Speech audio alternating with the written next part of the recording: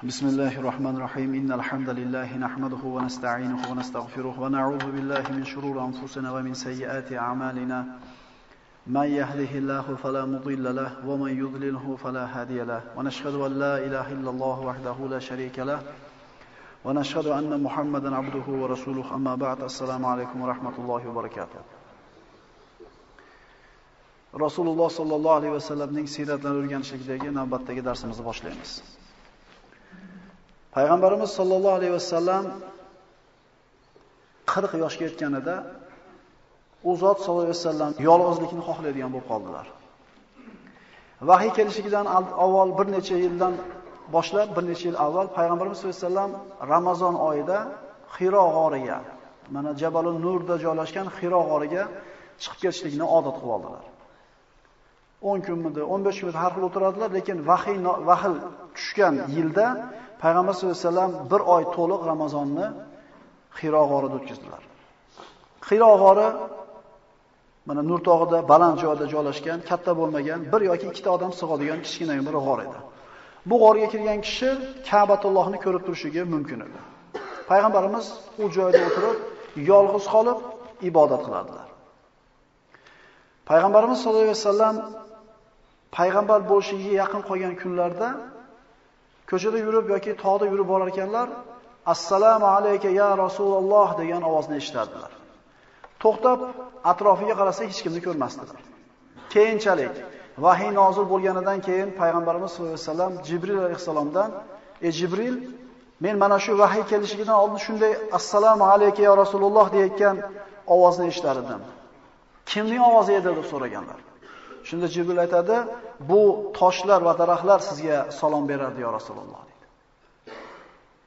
Payg'ambarlikning yana alomatlaridan Rasululloh sollallohu alayhi vasallamga vahiy kelishidan 6 oydan boshlab, 6 oy avval kechqurun ko'rgan tushlari o'ngida ayni ko'rgandek sodir bo'ladigan bo'ldi. Ru'ya soliha. To'g'ri, soliha tushlar. Osha roziyallohu anhu aytadilar, nubuvatning alomatlaridan biri bu solih tushlar. Kechqurun nimani ko'rsa payg'ambarimiz kunduzi xuddi shu narsa ayni takrorlanardi.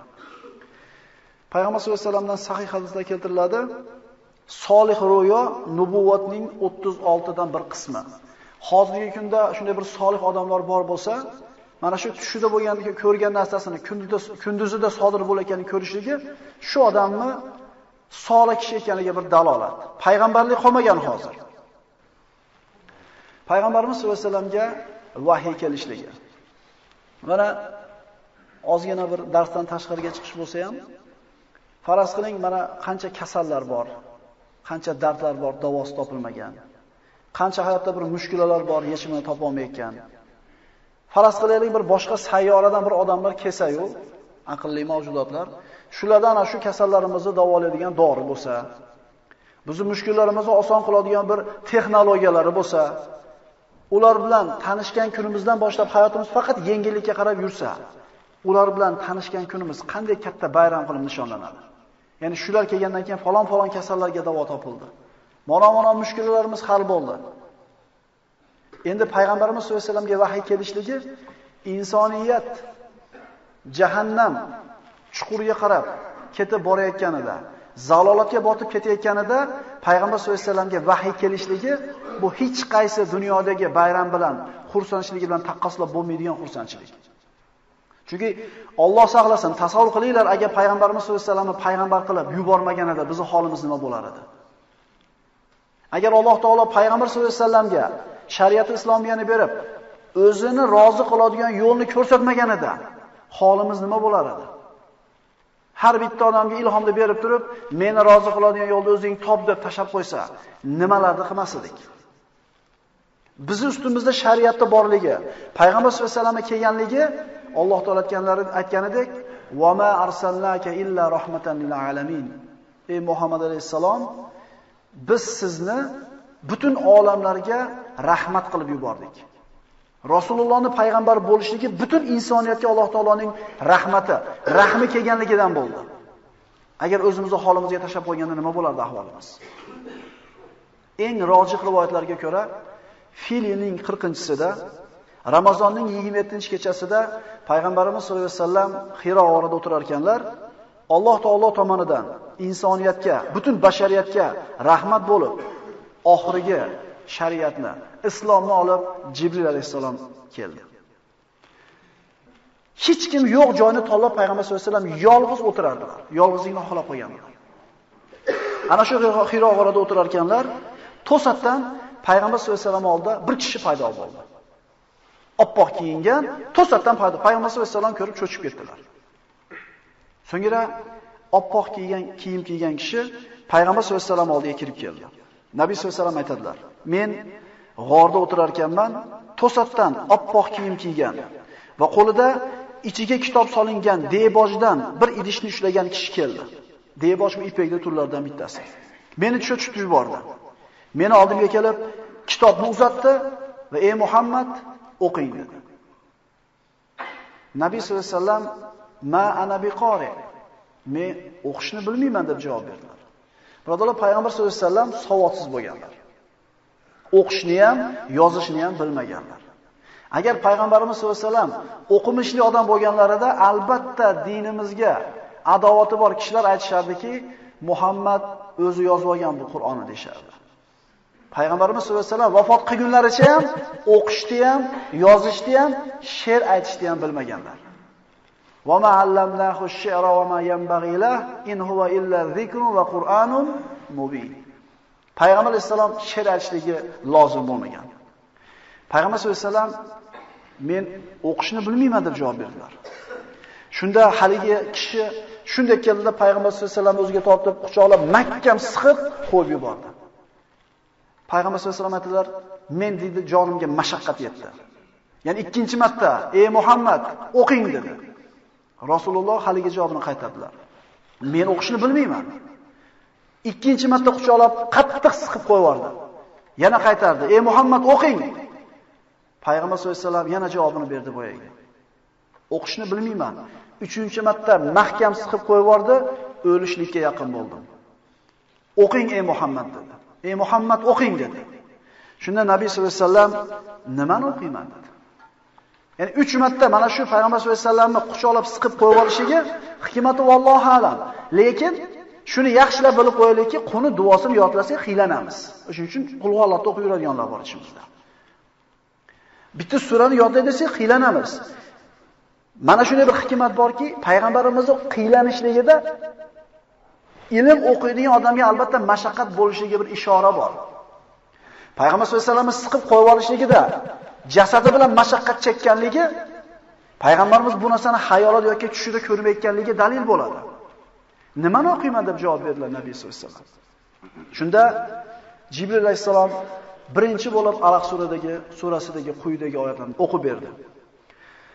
A'udhu billahi minash shaytonir rojim.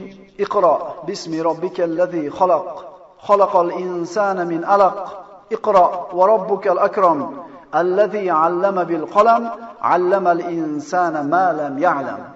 Ey Muhammad, barcha mavjudotni yaratgan zot bo'lmish Parvardigoringiz nomi bilan boshlab o'qing. U insonni lahta qondan yaratgan zotdir. O'qing. Sizning Parvardigoringiz insoniyatga qalamni, ya'ni yozishni, xatni o'rgatgan o'ta karamli zotdir. U zot insonga uning bilmagan narsalarni o'rgatdi. Qur'onda birinchi bo'lib nozil bo'lgan muborak oyatlar mana shu Alaq surasidagi 5 ta oyat. Juda ko'p marta takrorlaymiz. Ma'ruzalarimizda ilm, ilm, ilm deymiz.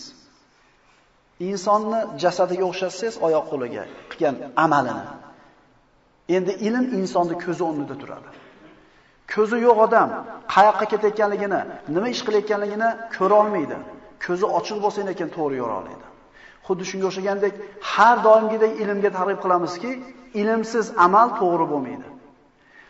E'tibor beringlar, Qur'onda Alloh taolo qancha oyat nozil qilgan bo'lsa, qancha buyruq, qancha qaytarib qaytargan bo'lsa, shularning ichida birinchi bo'lib tushirgan oyatida nima deyapti?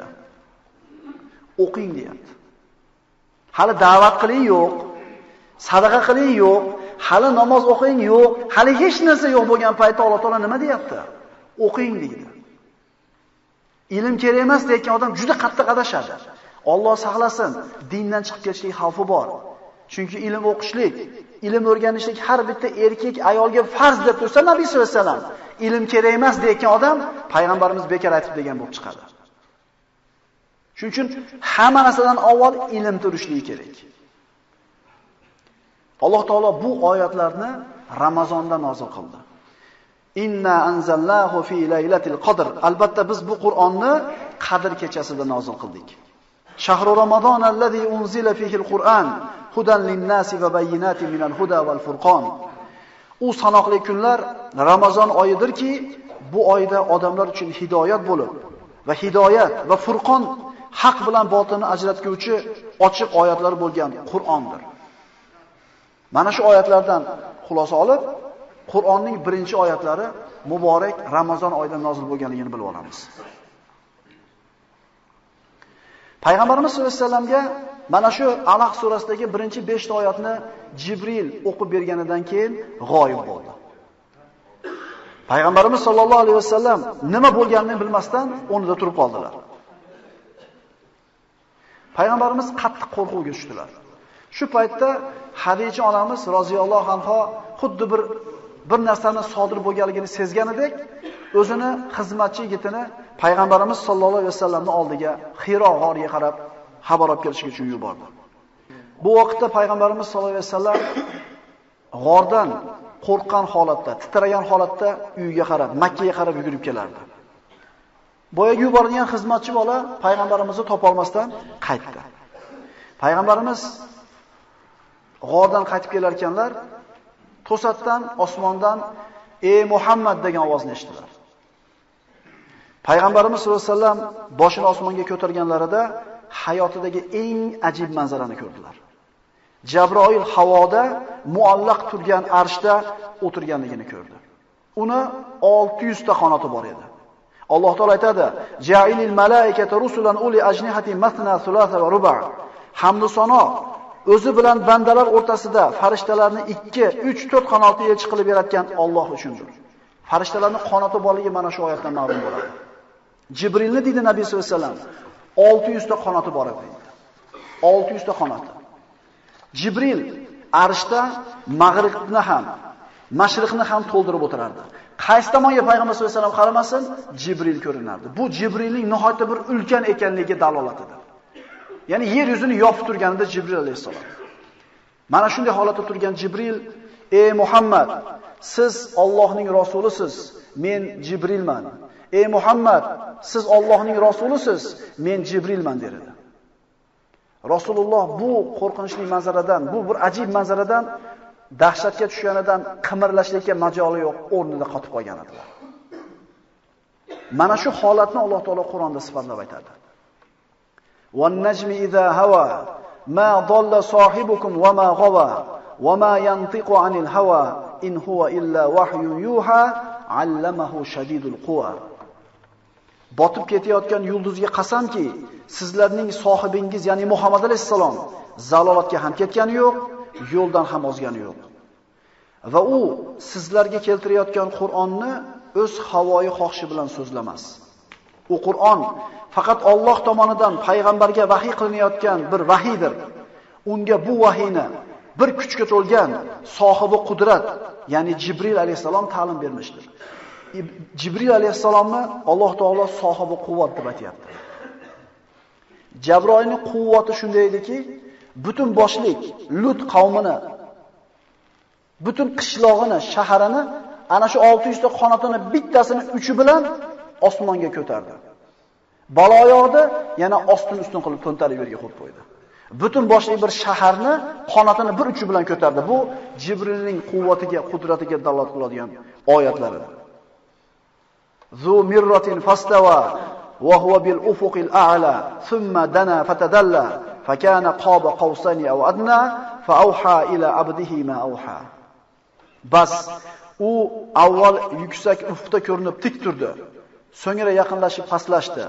Bas Muhammad alayhisalomga ikki kamon oralig'ida yo undan-da yaqinroq bo'lib, Alloh o'z bandasi Muhammad alayhisalomga tushirgan vahiyni keltirdi. Demak, payg'ambarimiz sollallohu alayhi vasallam Jibrilni ko'rishligi bu ko'ziga ko'rinib, xayoliy o'tgan narsa emas edi. Payg'ambarimiz sollallohu alayhi vasallam Jibril alayhisalomni asl suratida faqat 2 marta ko'rganlar. Inson bolasi farishtalarni asl suratda ko'rishlikka toqati yetmaydi. Ko'tara olmaydi inson bolasi. Xususan Jibril alayhisalom farishtalarning eng buyugi, ularning boshlig'i, vahiy olib kelishlikka yakka bo'lgan farishta. Birinchi marta payg'ambarimiz sollallohu alayhi vasallam Jibrilni vahiy olib kelganida ko'rdi. Ikkinchisi marta Sidratul Muntaho, Isro va Miroj voqeasida Sidratul Muntaho oldida ko'rdi. Ma katabal fuadu ma ra'a fa afatumarunahu ala ma yara va laqad ra'ahu nazlatan ukhra 'inda Sidratil Muntaha. Payg'ambarning ko'ngli ko'rgan narsasini inkor etmadi. Ya'ni Jibril farishtalar suratini ko'rib, payg'ambarning ko'ngli ham qanoatlandi. Va uning Alloh taolo tomonidan farishta ekanligi iymon keltirdi. Endi sizlar ey mushriklar, payg'ambar ko'rib turgan narsasi ustida u bilan tortishurmisizlar? Qasamki Muhammad alayhisalom Jabroil farishtani o'zining asli suratida ikkinchi bor jannat chetidagi Nilufar oldida ko'rdi. Faqat ikki marta payg'ambarimiz sollallohu alayhi vasallam Jibrilni o'zini asl suratida ko'rganlar. Boshqa vaqt bir inson ko'rinishida yoki bir boshqa bir ko'rinishlarda Jibril alayhisalom kelardi. Jibril mana shunday bir ko'rinishdan g'oyib bo'lganidan keyin payg'ambarimiz sollallohu alayhi vasallam shoshganlaricha uyiga qarab bordilar. Hadicha roziyallohu anha payg'ambarimiz sollallohu alayhi vasallamni ko'rib bir narsani sodir bo'lganini sezdida, titrab qaltirab turgan payg'ambarimiz ularga meni o'rab qo'yinglar. Zammiluni, zammilu meni o'rab qo'yinglar dedi. Hadicha onamiz payg'ambar sollallohu alayhi vasallam o'rab qo'ydilar. Rasulullohdan boyga qo'rquv titroq ketganidan keyin Hadicha onamiz bo'lib o'tgan ishini so'radi. Payg'ambarimiz sollallohu alayhi vasallam bo'lib o'tgan ishni aytib turib, o'zimni nafsimdan qo'rqib ketdim dedi. Ya'ni bir yomonlik yetishidan qo'rqib ketdim dedi. Hadicha onamiz ehtimol jinlar sizga bir yomonlik yetishidan qo'rqandirsiz dedi. Payg'ambarimiz ha deb javob berdilar. Shunda mana mu'mina, soliha bo'lgan, eriga vafodor bo'lgan, erini fazilatini biladigan ayolning javobi. Yo'q. Allohga qasamki, sizga hargiz yomonlik yetmaydi. Chunki siz qarindoshlikni o'rniga qo'yasiz. Doimo rost gapirasiz. Zaiflarga yordam berasiz. Mehmonlarni ikrom qilasiz. Muhtojlarga ko'mak ko'rsatasiz. Ya'ni bunday go'zal axloq egasi bo'lgan kishini Alloh tashlab qo'ymaydi demoqchi. Payg'ambar sollallohu alayhi vasallamni ko'nglini, qalbini ko'tarib unga taskin berdi. Payg'ambarimizdan boyagi qo'rquv vahimasi ketganidan keyin Hadicha onamiz Rasululloh sollallohu alayhi vasallamni o'zini amakisining o'g'lini oldiga olib bordi. Amakisining o'g'li Varaqa ibn Nawfal Nasroniy dinidagi ikki ko'zi ojiz bo'lgan qari bir oqsoqol edi. Nasroniy dinini bilar edi, Injildan xabardor edi. Varaqani oldiga olib kelib, payg'ambar sollallohu alayhi vasallamni uchrashtirdi. Varaqa payg'ambarimizdan bo'lib o'tgan ishni eshitdi, eshitdi, ta'jubga tushdi. Aytilgan hamma alomatlarni ko'rib turib, Allohga qasam, sizga Musoga kelgan nomusul akbar farishtasi keldi. Siz oxir zamon ummatining payg'ambari bo'libsiz dedi. Nomusul akbar Musoga kelgan dedi. O'zi nasroniy bo'lishi bilan Musoga kelgan dedi. Nimaga Isoga demadi? Chunki aqidatu taslisda nasroniylar Xudoni 3 ta deyshadi. Endi ba'zilarning e'tiqodida Iso Xudo emas, lekin payg'ambar ham emas. Iloh bilan nubuvvat o'rtasidagi martaba deyishardi. To'liq shirk emas, lekin to'liq tavhid emas. O'shuning uchun aytayaptiki, bu Musoga kelgan nomusul akbar siz oldingizga kelibdi. Siz payg'ambar bo'libsiz. Shunda ajib bir so'zni aytdiki, Varaqa, "Ey, qaniydi yosh yigit bo'lganimda qavmingiz sizni haydab chiqarib olganida shaharingizdan, siz yoningizda turib men yordam bergan bo'lardim." Payg'ambar sollallohu alayhi vasallam, "Iye, meni chiqarib yuborishadimi dedi. Ya'ni savolni ma'nosi, a men ularning ichidagi eng sharafligi bo'lsam, karima axloqligi bo'lsam, nima uchun chiqarib yuboriladi? Varaqa aytdiki, payg'ambarlarni manhajini payg'ambarimizga birinchi kundan tushuntirib qo'yibdi Varaqa ibn Nawfal. Siz olib kelgan narsani, olib kelgan har bitta odamga adovat qilingan, dushmanlik qilingan, aziyat berilgan dedi. Qani edi sizni qavmingiz yurtingizdan haydab chiqarganida yosh yigit bo'lsam, sizga bir qattiq yordam berardim dedi. Rasululloh sollallohu alayhi vasallam mana shu oyatlar bilan nabiy bo'ldi dedi ulamolar. Chunki nabiy bilan rasulning farqi bor. Mana shu Alloh tomonidan vahiy olishligi bilan nabiy bo'ldi, endi Muddassir surasi bilan rasul bo'ldi. Iqro bilan payg'ambarligi ma'lum bo'ldi. Endi ya ayyuhal muddassir surasi nozil bo'lganidan keyin da'vat qilishga buyurildi, demak, rasul bo'ldi ulamolar. Shu voqeadan keyin hech narsa bo'lmay qo'ydi. Vahiy to'xtab qoldi. Vahiy to'xtab qoldi. Ulamolar bu vaqtni fatratul vahiy, ya'ni vahiyni to'xtab turgan vaqti deb aytishadi. Ba'zi rivoyatlarda 3 yil deyilgan, lekin eng rojih rivoyat 6 oygacha vahiy to'xtab qoldi. Hikmati nima edi buni? Payg'ambarimiz sollallohu alayhi vasallam sharaf uchun jonini fido qiladigan qavm ichida ulg'aygandilar. Mana o'tgan darsimizda aytdik, bitta toshni o'rniga qo'yib qo'yish uchun bir-birini qirib olishlikka tayyor. Chunki mana shu ishda sharaf bormi? Har qanday qurbonchilikka ular rozi bo'lishadi. Endi ana shu sharafni yaxshi ko'rgan qavmda ulg'agan payg'ambarimiz ham sharafni yaxshi ko'radilar. Endi oxir zamon payg'ambari bo'lishlik degan sharaf kelib to'xtab qoldi. Ana shu to'xtab qolishligidan payg'ambar sollallohu alayhi vasallamni qalbi taskin topsin. qo'rquv ketsin, o'ziga kelib olsin hamda vahiyni kelishligiga endi mushtoq bo'lsin. Tushunali bo'ldi? Payg'ambarimiz endi o'zi chanqab, o'zi vahiyga tashna bo'lib, bir necha marta Xiro g'origa chiqqanlar. Sahroga chiqib osmonni qaradilar, Jibril kelib qolishidan umid qilib. Mana aytdik, sharafni yaxshi ko'rgan qavmdan edi payg'ambarimiz sollallohu alayhi vasallam. Ya'ni shunday sharaf kelib kelmay qo'ydi-ya, nohotki ketib qoldi bizdan bu sharafda payg'ambarimiz hatto o'zini tog'ning ustidan tashlab olishga ham tayyor bo'lardi ba'zida. Rasululloh sollallohu alayhi vasallam u zotga oxirgi nabiy bo'lish sharafi kelib, keyin to'xtab qolishini nohata bir og'ir oldilar. Ana shu vahiydan mahrum bo'lib qoldimmikin deb, mana shu sharafdan mahrum bo'lib qolishligidan qo'rqib, o'zini tog'dan tashlab olishga ham tayyor bo'ladilar. Mana shu fatratul vahiy vahiy to'xtab qolgan 6 oyda orasida Varaqa ibn Nawfal vafot etadi. Varaqa ibn Nawfal vafot etadi.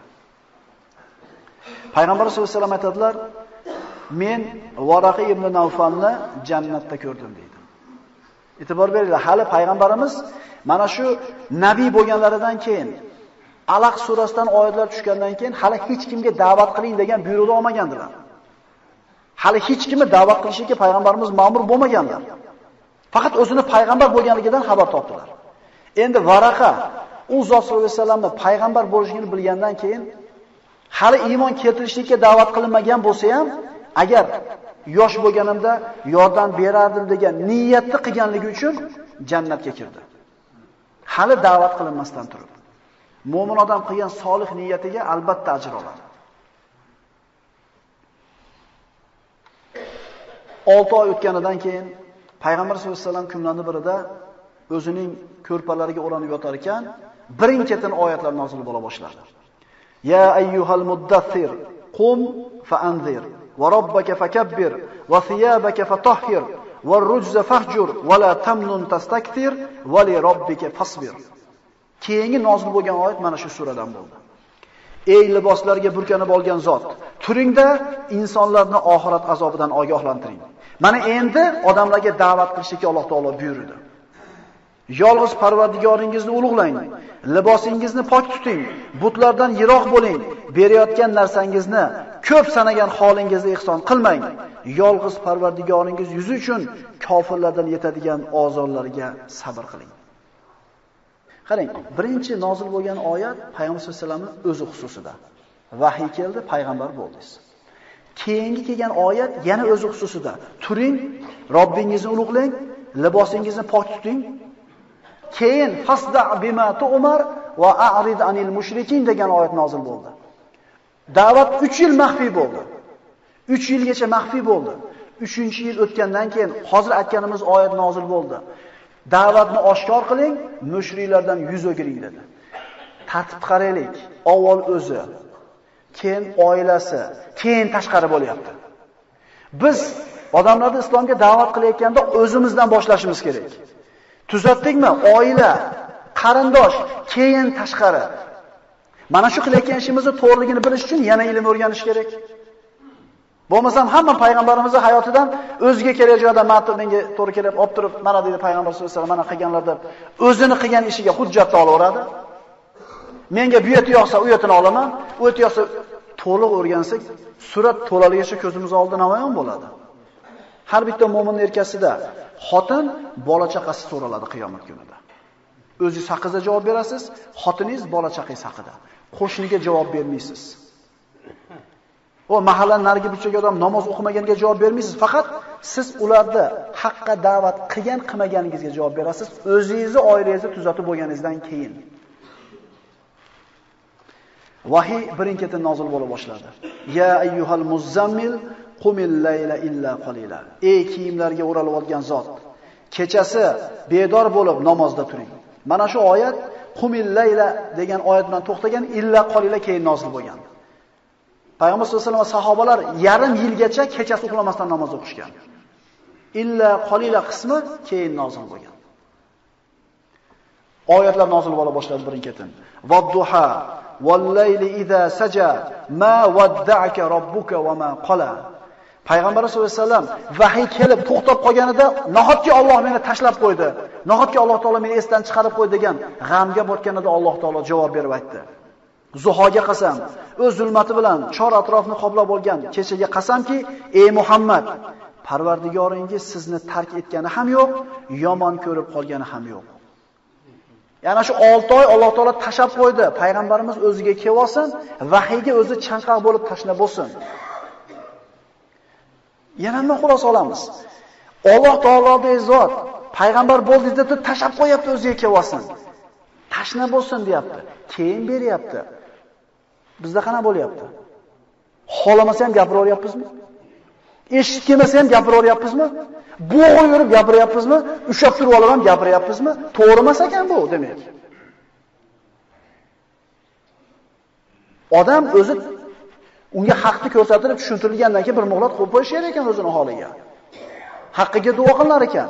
Unaqa e, la ikroha fid din, dinda majbur qilishlik bo'lmas ekan. O'zini ixtiyori bilan, xohishi bilan, o ruhi bilan, nafsi bilan chiqishlik kerak bir narsaga. Uni majbur qilib bo'lmas ekan. Rasululloh sollallohu alayhi vasallam mana shu oyatlar bilan insonlarga dinni yetkazishlikni mas'uliyatni kishiga yuklatilindi. Rasululloh sollallohu alayhi vasallam payg'ambar bo'lgunga bo'lib kelgunga qadar Makkada, Arab jazirasida muvahhidlar bormidi, yo'qmidi? Muvahhid va Allohni bitta deydigan tavhiddagi kishilar. Ulardan bo'lgan ba'zilari, lekin ozchilik bo'lgan. Shulardan Zayd ibn Amr ibn Nufayl, Usmon ibn Xoris va Varaqa ibn Nawfal uchalasi to'planib Qurayshni butlarga sig'inayotganligidan norozi bo'lib, uchalasi ahdlashdi. Kelinglar, haq dinni istaymiz. Qavmimizni qilayotgan ishlari noto'g'ri, biz haq dinni istaymiz. Mana Usmon ibn Xoris bilan Varaqa ibn Nawfal nasroniy diniga o'tib ketishdi. Lekin Zayd ibn Amr ibn Nufayl ulardan ko'ra uzoqroq istadi. Yer yuzidagi eng bilimdon odamni so'rovdi, bir Yahudiy olimini unga ko'rsatishdi. Bordi, Yahudiylik dinini o'rgandi, so'ngra shu Yahudiylik haq dinmi dedi? Ha, haq din dedi. Nima qilsam Yahudiy bo'laman?